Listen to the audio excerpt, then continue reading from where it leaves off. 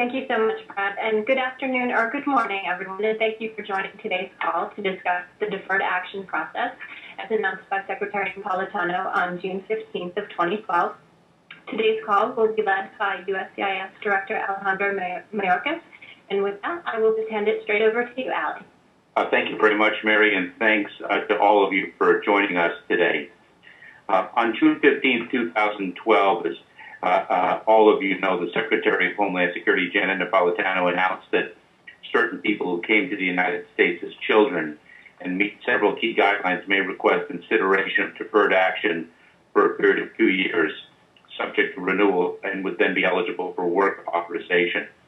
To implement the Secretary's memorandum, USCIS has created a new process for individuals who meet these guidelines to request consideration of deferred action for childhood arrivals. We are extremely pleased and proud to deliver on the Secretary's commitment to implement uh, this process uh, in the 60-day time frame uh, that she announced on June 15th. This afternoon, uh, we are making available online the forms and instructions for individuals who will request deferred action for childhood arrivals. Before I describe the details of the filing process, allow me to provide a brief reminder of the deferred action guidelines.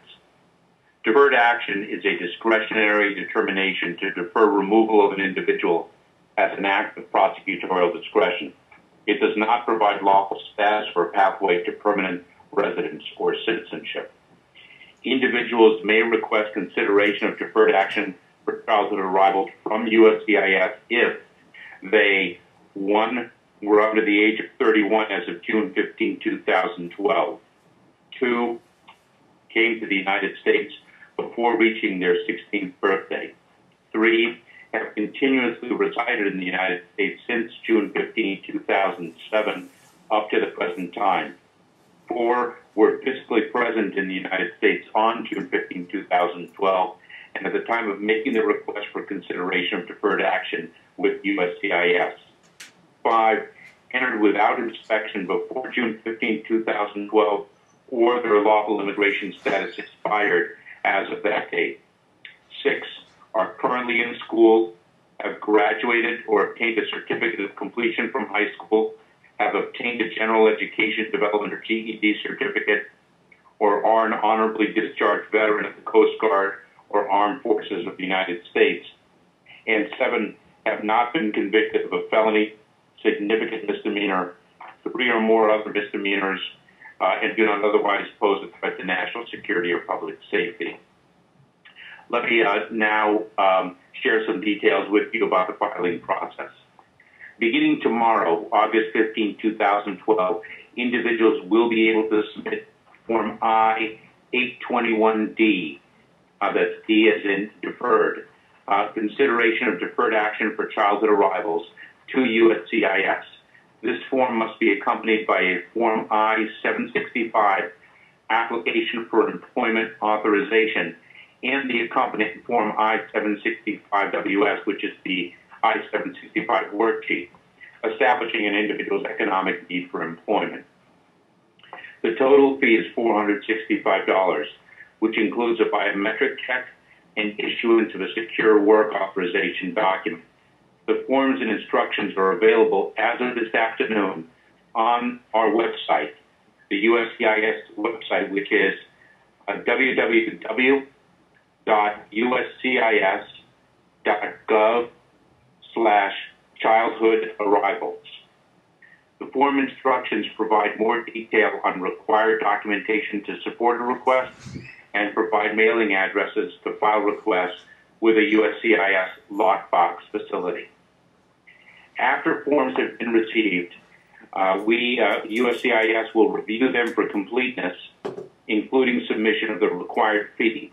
Once the request is accepted as complete, we will send a receipt notice uh, to the individual making the request.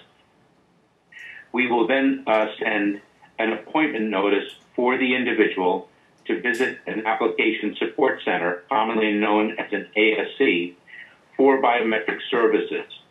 Individuals will be given sufficient advance notice of their appointment date, which can be rescheduled if necessary. Failure, though, to attend the biometric services appointment may delay processing, processing of, a request or may result in a denial of the request. Each request for consideration of deferred action for childhood arrivals will be reviewed on an individual case by case basis following an, examination for potential fraud and the completion of a thorough background check. If there is insufficient evidence, I'm sorry, if there is insufficient evidence submitted, we will request more information or schedule the individual for an interview at a USCIS office. Individuals will, will receive a decision on the request in writing and, if granted, will receive separately an employment authorization document. While individual processing times may vary, typically individual requests take several months to process. We expect similar processing times for deferred action requests. Although the processing may take several months to complete, though, individuals will be able to check their status, the status of their requests online at www.uscis.gov. Today, we are also issuing additional guidance about the educational guidance. Let me, if I can, summarize uh, some of the key guidelines. To be considered currently in school under the guidelines, a requester must be enrolled in a public or private elementary school, junior high or middle school, high school or secondary school, or an education, literacy, or career training program, including vocational training, that is designed to lead to placement in post secondary education, job training, or employment, and where the requester is working towards such placement, or an education program assisting students either in obtaining a regular high school diploma or its recognized equivalent under state law, including a certificate of completion, certificate of attendance, or alternate award, or in passing a GED exam or other equivalent state authorized exam. Such education, literacy, or career training programs include, but are not limited to, programs funded in whole or in part by federal or state grants. Programs funded by other sources may qualify if they are administered by providers of demonstrated effectiveness, such as institutions of higher education, including community colleges and certain community based organizations. In assessing whether such an education, literacy, or career training program not funded in whole or in part by federal or state grants is of demonstrated effectiveness, USCIS will consider the duration of the program's existence, the program's track record in assisting students in obtaining a regular high school diploma or its recognized equivalent, in passing a GED or other state authorized exam, or in placing students in post secondary education, job training, or employment, and other indicators of the program's overall quality. For individuals seeking to demonstrate that they are currently in school through en- enrollment in such a program, the burden is on the requester to show the program's demonstrated effectiveness. Individuals who are in school at the time of the request and later seek a renewal of deferred action uh, must show at the time of the request for re- renewal that they have made substantial, measurable progress toward graduating from school or that they have passed the GED or other equivalent state authorized exam. Circumstantial evidence will not be accepted to demonstrate educational attainment. Individuals must submit direct documentary evidence to satisfy that they meet the education guidelines. Additional details on the in school guideline are available as frequently asked questions or FAQs on our website. And again, that website is www.uscis.gov slash childhood arrivals. Allow me, if I can, um, uh, to uh, provide some additional information about disclosure, disclosure and referrals. In addition to the previous information sharing policy to protect information submitted with an individual's request for deferred action under this process generally, If a case is referred to ICE for purposes of immigration enforcement or a requester receives a notice to appear, an NTA, from USCIS, USCIS will not share with ICE information related to the requester's family members or guardians contained in the request for purposes of immigration enforcement against those family members or guardians. However, that information may be shared with national security and law enforcement agencies, including ICE and CBP, for purposes other than removal, including for assistance in the consideration of deferred action for childhood arrivals, to identify or prevent fraudulent claims for national security purposes or for the investigation or prosecution of a criminal offense. Once again, we now have available, or we will have shortly, on our website more detail on the information I outlined. In addition, we have made available, uh, or will shortly, the forms required for uh, the deferred action for childhood arrivals process and the form instructions, which detail filing procedures and documentary evidence requirements. You can find uh, this information again on our website at www.uscis.gov slash childhood arrivals. I am joined uh, uh, this afternoon uh, by uh, uh, John Sandweg and Seth Grossman of the Department of Homeland Security, and together we would be pleased to field some questions. Operator? If you have a question at this time, please press star, then one on your phone keypad. If at any time your question has been answered, you may remove your request by pressing star two. Once again, please press star one if you have a question at this time. And Brad, before you take the first call, I just wanted to ask uh, for those who, who do have questions, if we could limit those questions to just one per inquirer, just given the number of people who are on today's call. Thank you. Our first question will come from Julie Dinnerstein. Your line is open. Uh, hi, this is Julie Dinnerstein from Sanctuary Families. Thank you for taking the call. And I'm going to repeat a question I asked last week, um, which Director Mayorkas was not able to answer, and I don't know if there's now a definitive answer. Um, I have, for people who made requests between the period of June 15th and August 15th tomorrow for deferred action, either through the uh, public advocate hotline of ICE for people in removal proceedings or through uh, the Office of Chief, Chief Counsel and got an, an initial affirmative answer that deferred action was going to be granted. If it has not been granted as of August 15th, though the process was initiated through ICE, someone in proceedings, does one just forget the process that was previously initiated and starting tomorrow, August 15th, mail these documents in, or is there something else? you know, again, I think if that the Office of Chief Counsel at ICE or, or has indicated that the individual, those are, those separate process, I guess I would say. If, uh, if I don't know the communications between the Office of Chief Counsel and ICE, the Office of Public Advocate, they've indicated they're going to um, defer action on an individual case. You may want to wait and see if they defer action.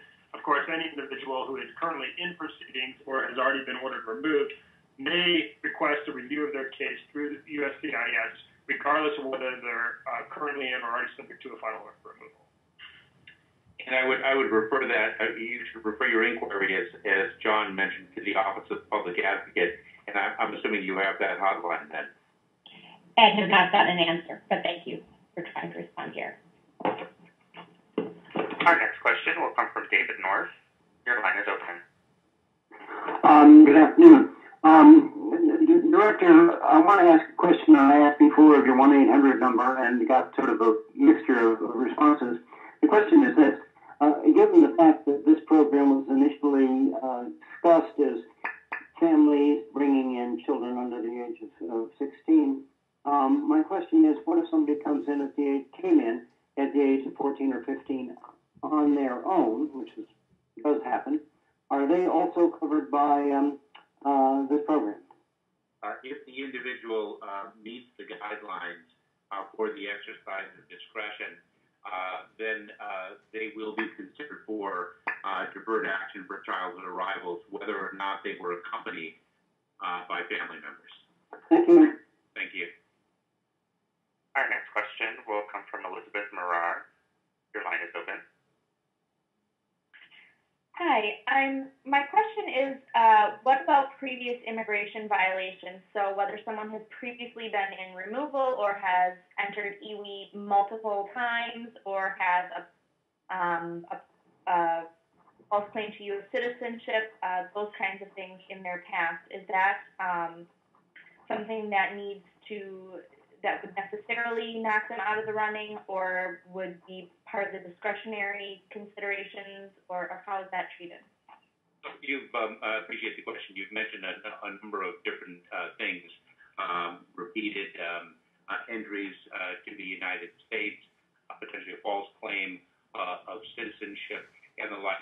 Um, uh, this underscores a very important point that the exercise uh, of prosecutorial discretion is an individualized one, one that is conducted on a case by case basis, and it depends on the facts uh, of the particular case. And what we uh, would do is we would uh, review uh, the facts of the case uh, under a totality of circumstances, through a totality of circumstances lens, assuming that the individual meets the guidelines uh, for the exercise of prosecutorial discretion, we would consider uh, the facts, the additional facts of the case uh, through that lens. So thank you. Thank you. Our next question will come from Wayne Taxer. Your line is open. Thank you.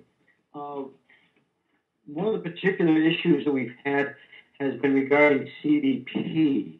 Uh, at the first conference, uh, CBP spoke and, and with regard to encounters they will have, said that their policy would be to detain, complete an investigation, and then release.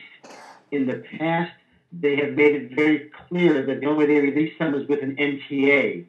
Uh, and they have said that the June 16th memo uh, that dealt with ICE and, and discretion uh, did not apply to them because it was an ICE only memo they've taken a rather harsh stand on many of these things.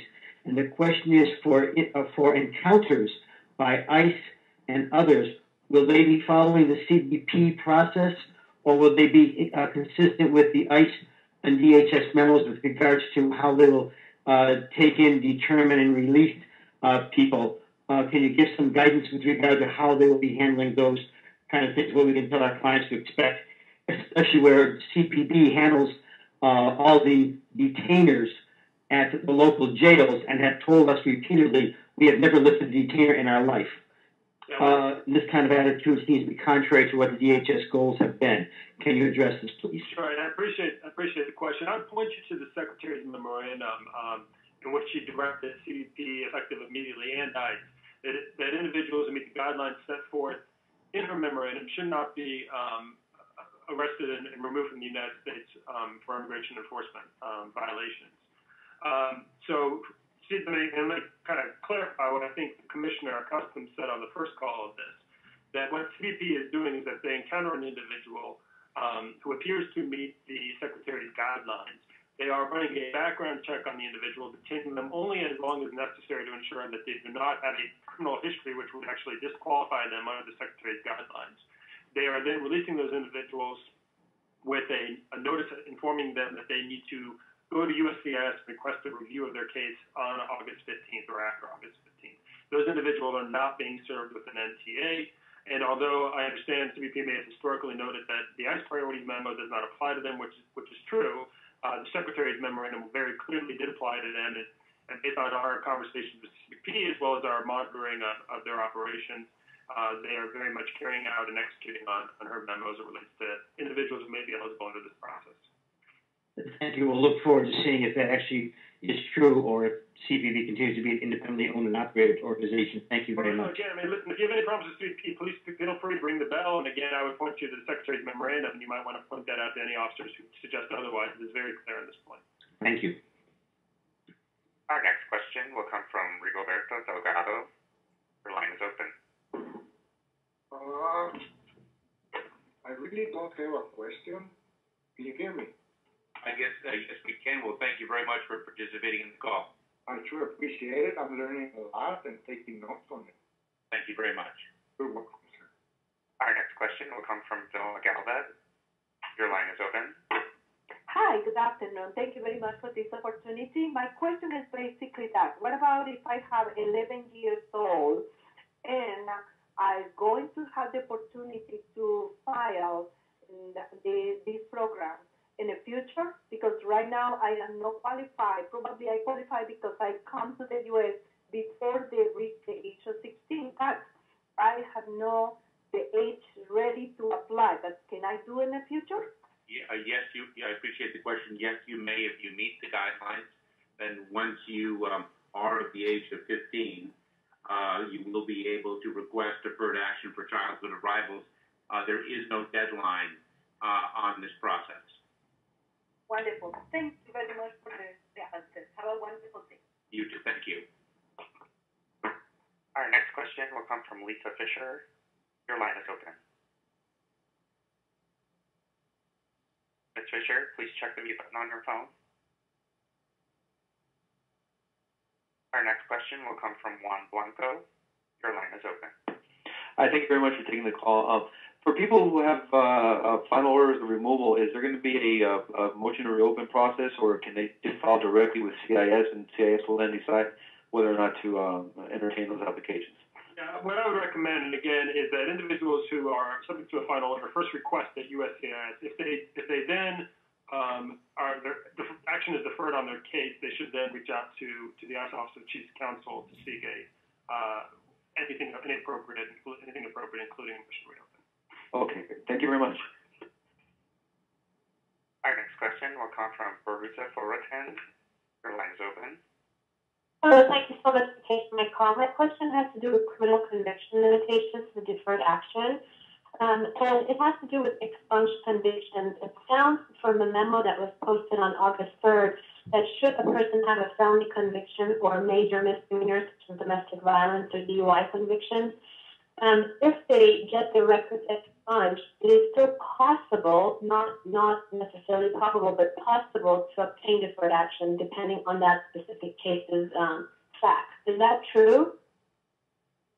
Yes, so uh, we have additional information, as I alluded to uh, in my opening remarks. We have and will have uh, information on this subject available this afternoon in our frequently asked questions.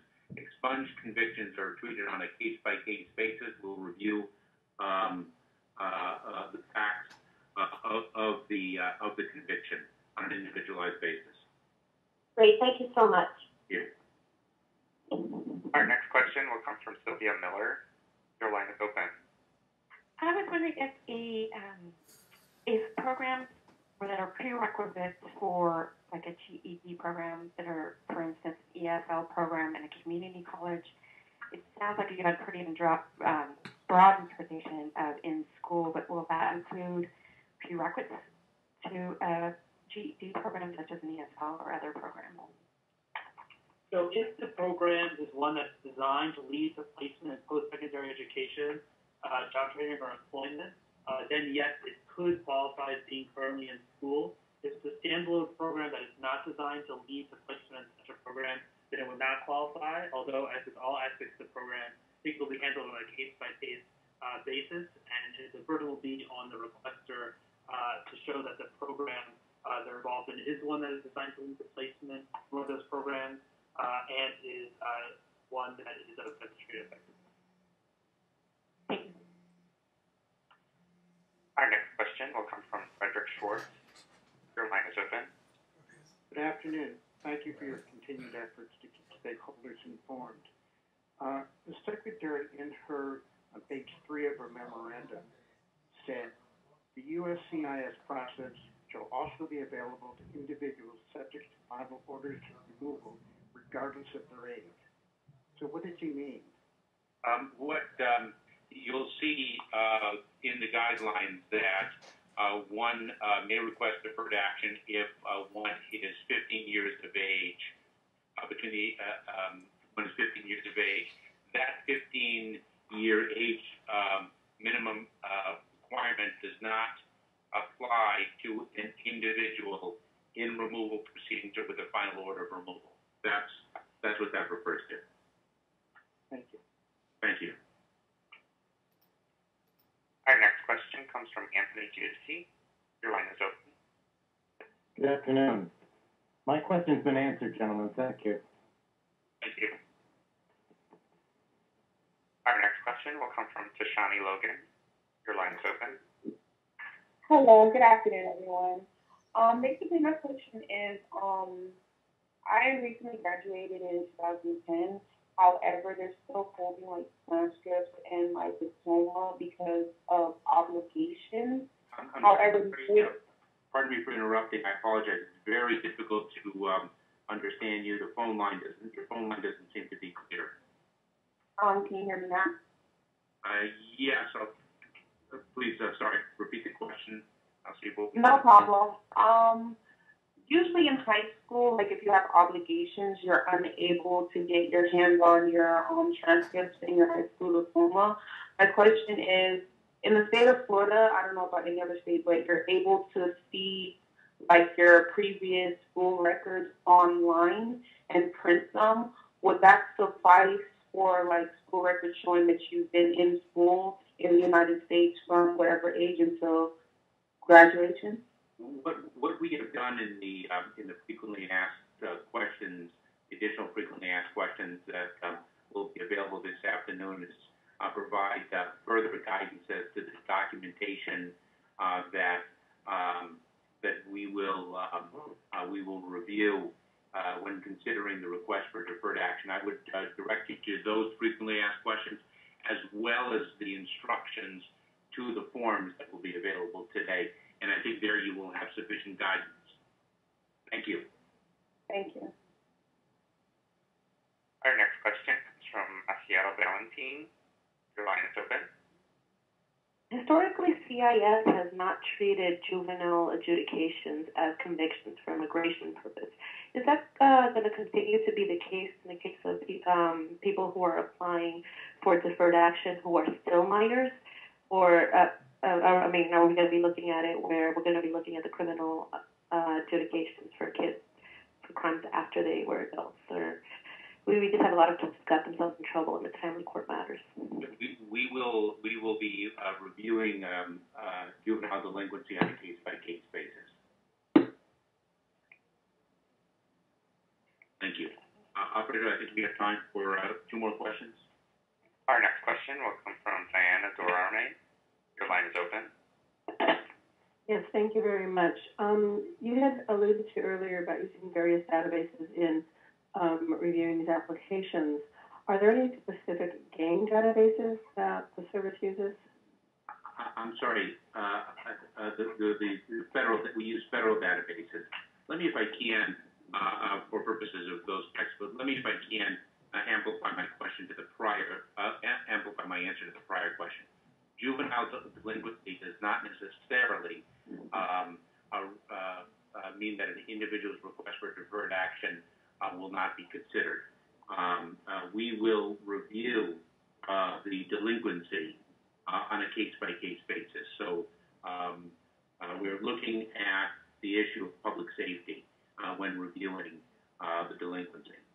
So thank you for that. Now, if I may just emphasize that a little bit more, some individuals, you know, we're going to look at the severity of the offense, the sentence imposed, the recency of the conduct. So as you engage with individuals who may have a juvenile delinquency record, those are the types of things I was looking at. Obviously, if someone commits what, if they had been an adult, would be a serious felony offense, they did so within the last year, but was prosecuted as a juvenile, that might be someone that, someone who you might caution against um, requesting review of their case. However, if it's minor conduct of, of years gone past and there's been um, no no recidivism, obviously that's the one for whom it's likely not to impact the individualized determination.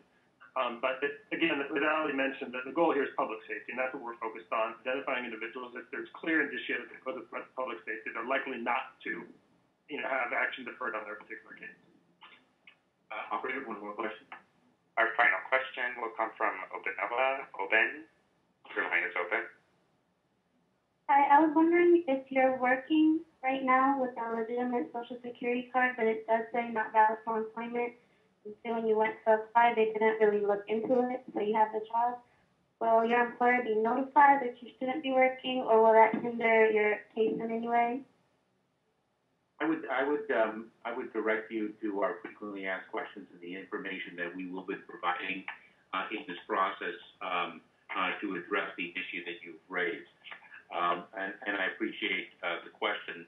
Uh, let me, if I can, um, in, in, in closing, and I appreciate everyone's participation in the call this afternoon, uh, uh, emphasize a few points and also uh, uh, again repeat uh, the uh, our web address is www.uscis.gov slash childhood arrivals.